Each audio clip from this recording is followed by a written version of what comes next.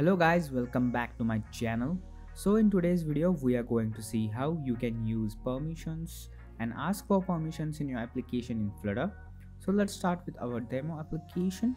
So for that, we have our demo application where we have just an app bar. So first of all, what we can do is we'll have our column and inside column we can have our list tile okay. So list type. Now we have we'll give it a title of let's say text. And let's say camera permission. Okay. And for the leading we can also give an icon. Icon start. Camera okay I will save the app and I can see our list tile. We'll have an on tap property for our list tile. So now before that you can do is go to pub.dev and search for the permission handler. Go to installing copy these dependencies and install it in your system go to pubspec.yaml paste it here and install it in your system. Once it is installed what you can do is for android you need to provide a set of permissions that is inside your main inside your manifest file. You can you have to write such like user permission android permission android name and you need to provide what kind of a permission you are accessing for. For example if you're using location internet bluetooth camera recording audio external storage so you need to provide this okay? Then this is for the android part and for the ios part you can define it in your info.plist you can provide here like for accessing camera microphone etc okay? So after that what you can do is we can simply go ahead and in the on tap of our list tile we can have our status is equal to we'll have an async we'll wait and we'll have our permission dot camera dot request. Now here we will request for the camera and we'll check if the status is denied. We can again ask for the permission. Permission dot camera dot request.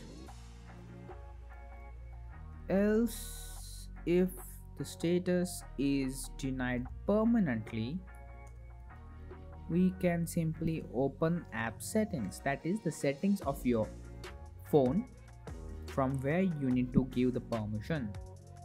Okay we'll save the app. Now what I'll do is I'll simply tap on our list tile. And you can see we have a permission pop-up. Okay so we will simply not allow it will ask again because we have wrote that if it is denied we will request it again. Okay so we'll request it now by saying yes. Okay similarly if you want to access permissions for other requests we'll have our list tile. Let's say we want to access our microphone permission. Okay we'll have our icon as mic. And instead of camera we can simply use microphone dot request. Okay here too. Microphone dot request. We'll simply save the app. Now we have our microphone. We'll tap on our microphone. You can see this it is asking for the access of microphone. We will not allow. Again we will not allow. And if I'm pressing it again you can see it's getting open in our app settings. Okay? So from here we can allow not allow. Okay? I'll simply disable our camera permissions. We'll go back to our application we'll rerun our application as it's not working. Okay? Till that we will do is we will simply copy paste our list tile and let's say you want to access for the permission of all the permissions. Let's say we can ask for both like camera and microphone permission okay? We will camera mic and we will save the app. So now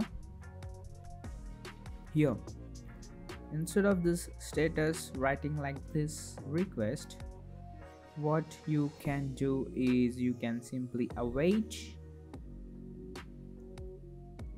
We will remove this. Now we will have our permission.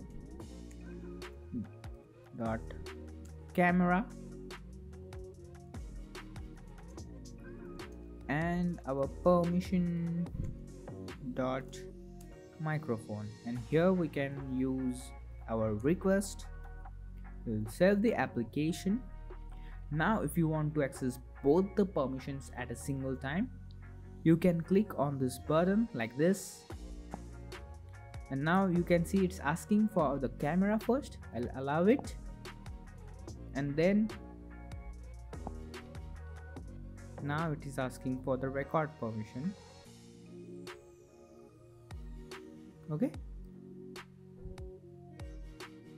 so this is how you can use the permission handler package to use and ask for the permissions